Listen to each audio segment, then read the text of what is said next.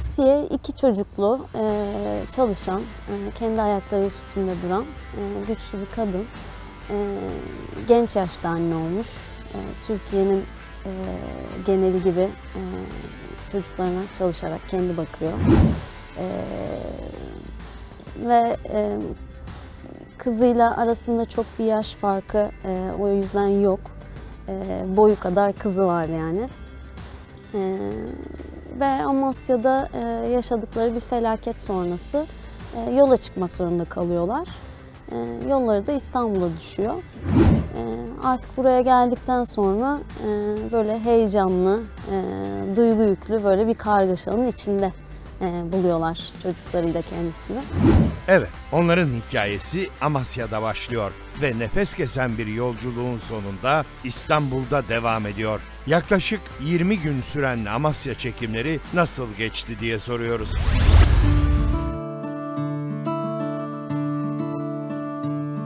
Ey Amasya halkı! Ben bu kızı seviyorum. Gelirsen hep sever misin beni? Sonuna kadar. Sen benim iki karşıma çıktın. Başkasını sever miydin? Yok sevmezdim. gerçekten Amasya'ya bütün ekipçe hayran kaldık diyebilirim. O kadar güzel ağırlandık, o kadar güzel bir e, coğrafyaymış ki ve daha önce nasıl hani bu kadar e, yakın çevremizden duymamışız, fark etmemişiz diye böyle birbirimize sorduk. E, çok eğlenceli, güzel geçti Amasya bizim için yani. Çok sıcak bir şehir gerçekten. Böyle gizli bir hazineyi sanki keşfetmişiz hissini verdi. Tam bu noktada Akın Akın Özü'ne hayat vereceği Cemal'i soruyoruz. Aldığımız cevap kısa ve net oluyor. Öykü Karael'in tepkisi ise oldukça manidar. Yani Cemal için ben şunu söyleyebilirim. Ee, sevdiklerine sahip çıkacak olgunluğu gösteremediğinden dolayı çok ağır bedeller ödemek zorunda kalan bir adam. Yeterli oluyor herhalde. Bu. ağır, ağır. Evet ben de katılıyorum. Altına imzamı atıyorum. Madem dizi karakterlerini tanımaya başladık, sözü şimdi de dizinin başrol oyuncularından Sarp Apak'a verelim ve kendisine kaderimin oyununun mahirini soralım. Mahir ben. Asiye. Bir an evvel kurtul arabadan. Şeyler arası aranıyormuş Halil'in arabası. Memnun oldum. Siz nereden geliyorsunuz? Amasya. Kapat gözlerini. olgun, e, sevdikleri konusunda çok hassas olan e, bir yalnız kurt diyebilirim. Çok iyi bir insan olduğunu düşünüyorum. Ben okurken hem üzüldüm hem sevdim. Negatif bir kelime ama biraz acıdığım anlar da oldu. E, biraz yazık olmuş bir çocukluğu var. Ama üstüne güzel bir kişilik inşa etmiş. İyi bir insan. Onu elimden geldiğince e, sonuna kadar savunacağım ve umarım güzel bir şekilde de hani seyircinin de e, herkesin de hoşuna gidecek bir şekilde de temsil edebilirim diye düşünüyorum. Sarp Apak ekibin çok sağlam olduğunu söylüyor. Çok güzel bir takım olduk. Tüm oyuncu arkadaşlarım, e, tanıdıklarım var geçmişten. Burada tanıştıklarım var. Çok iyi bir ekip olduğumuzu düşünüyorum. Sohbet ilerlerken bu projeyle birlikte Sarp Apak'la Öykü Karayel'in ortak bir hayalinin gerçek olduğunu öğreniyoruz. Ee, Sarp çok yakın arkadaşım. Biz hep böyle uzun soluklu bir şeyde oynamanın ben hayalini kuruyordum açıkçası kendisiyle.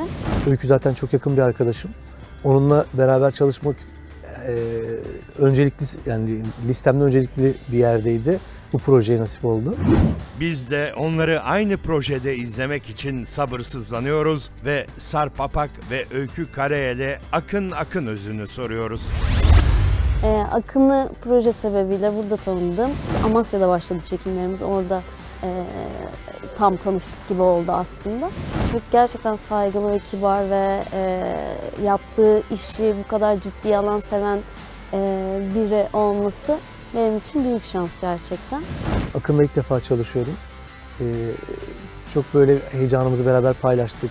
Ee, en başta da böyle birbirimize hani projeyi ilk kabul ettiğimiz etapta işte hani nelerden etkilendiğimizi, hangi sebeplerle burada olduğumuzu konuştuk. Akın Akın özü de senaryoyu ilk okuduğunda içinden Asiye karakteri için tek bir isim geçirmiş. Ben Öykü'ye de söylemiştim zaten. Ee, ilk ben senaryoyu okuduğumda Asiye karakteri için aklıma gelen ilk isim Öykü Karayel olmuştu. Bundan sonra e, Asiye karakteri için kendisiyle anlaşıldığını tabii öğrenmek benim için büyük bir sürprizdi.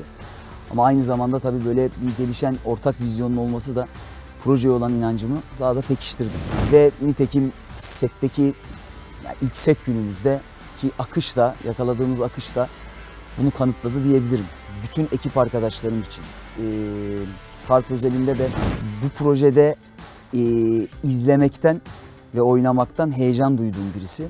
Çünkü e, gerçekten hani onu böyle bir e, dram işinde izleyecek olmak beni heyecanlandırıyor. Ki ben bir de e, oynama şansına erişmiş oldum.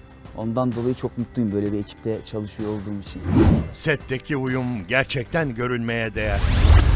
Şu an burada yaşadığımız bu güzel enerjinin oluşan o ortamın ve e, ortaya çıkan işin seyirciye de geçmesi, onların da hoşuna gitmesi şu an artık tek hedefimiz. Kaderimin oyununun kadrosunda daha birçok sürpriz isim var. Onlardan biri de Helin karakterine hayat verecek olan Meriç Aral. Helin bu konakta büyümüş. Ee, bu ailenin böyle e, çok sevgiyle büyütülmüş e, kızı.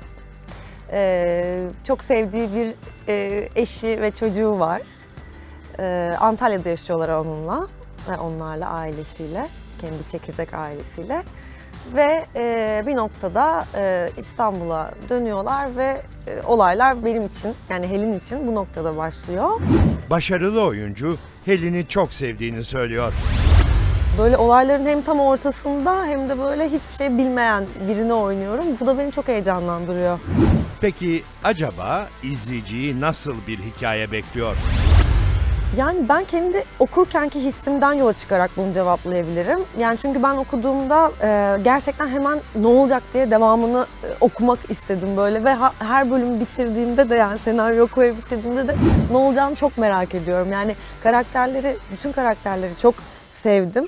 E, olay çok ilgimi çekti. Dolayısıyla devamını çok merak ettim. Eğer bu noktada bunu doğru anlatabilirsek bence insanlar e, bu konaktaki insanlarla bağ kuracaklar ve başlarına gelecek şeyleri e, merak ederek e, ta- e, takip edecekler.